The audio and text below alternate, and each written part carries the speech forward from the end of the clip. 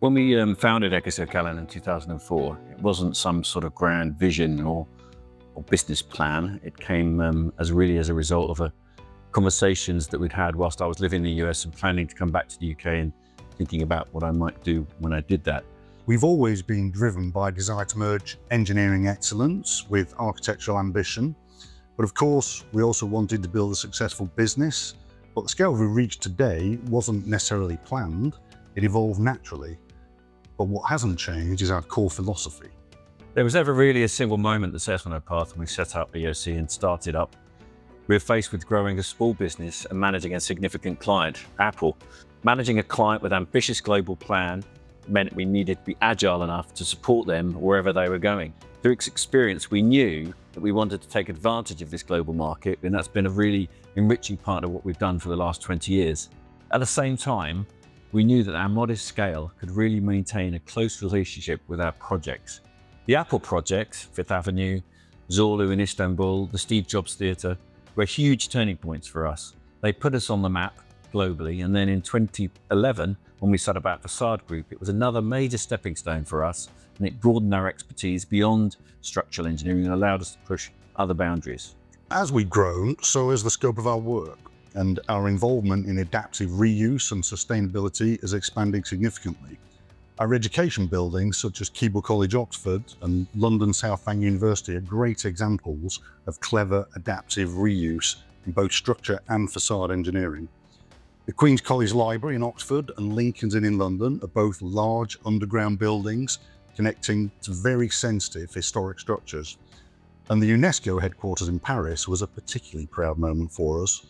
And that was restoring an iconic modernist facade with the same sensitivity that you bring to a historic building. And then, of course, there's timber. From Vitsœ to the black and white building, we've been pioneering its use in ways that feel quite revolutionary. And now we're seeing years of development come to life with Atlassian Central in Sydney, which is a 45 story timber hybrid tower. And we worked with them from concept to detailed design as both structural engineers and facade engineers. And when complete, it'll be the tallest timber hybrid structure in the world. And it's now been on site for two and a half years.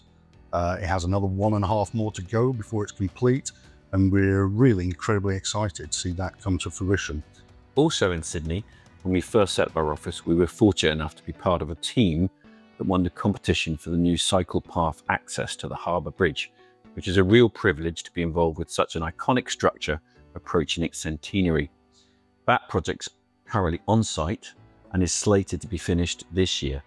Despite all this, expansion was never a conscious strategy, and really it happened through embracing opportunities our global offices are all led by people of highly skilled engineers with their own particular specialism. And they are supported by our own global network of expertise across EOC with a comprehensive knowledge of the supply chains, which is pretty unusual, if not unique, for a company of our size. What makes it work is that we stay involved. Leadership isn't distant. We're close to the details of every project from conception to completion. And that ensures that our culture approach remains strong no matter where the project is. A big shift for us has been the role of sustainability and digital innovation. So we've invested heavily in digital tools to optimize design and to help us make smarter decisions. The urgency of climate change has shaped everything we do, and we're constantly looking at how we can push boundaries, whether that's with glass, timber, or the reuse strategies we've talked about earlier. Atlassian Central is a prime example of that forward-thinking approach. At the end of the day, it all comes down to people. We've grown to over 100 in London with 60 more spread across our global offices, representing over 30 nationalities. Lots of incredibly smart, technically brilliant people with curious minds about how we can make buildings better.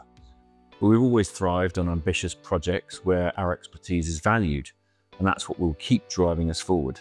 In another 20 years, I see us bigger, but still true to our values. We'll be working all over the world, hopefully led by some of the young engineers who are here with us today. And we can't wait to see where the next two decades takes us.